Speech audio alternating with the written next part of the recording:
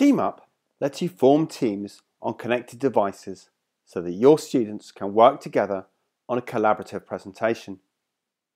Once completed, the teams can take control of the whiteboard from their devices and present to the rest of the class. To start, choose a title and objective and click Create a Team. You can then assign a class to this TeamUp activity or save as a template. I'm going to choose one of my classes.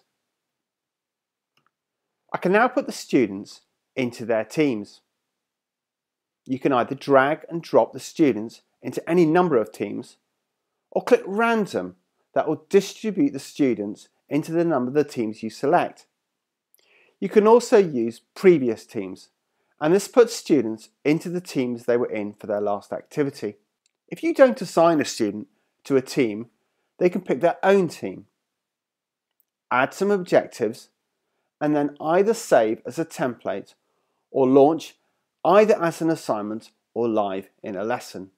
The main screen on the left is the whiteboard or teacher laptop view. The unallocated student chooses blue team to join and they can start working on the activity. The students can now create their shared ideas by adding images and text onto the slide. Click Image and then click the slide to bring up the image library. Upload images from your computer, Google Drive and Google Images. The student then creates their slide. The student ideas will be added to the team's collaborative space. Students can either produce their own slides or work on a slide together. By clicking Review on each team, you can see who is working on the slides. Students can message each other during the activity. You can also check the messages they are sending each other.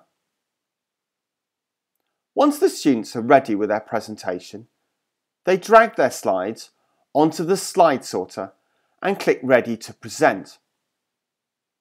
You will receive a notification that that team is ready to present. By clicking Ready to Present, you'll hand control of the whiteboard to the team who can present their slides to the class. The other teams will be able to post questions and comments that will appear at the end of the team's presentation. You can also award a mark to the presenting team.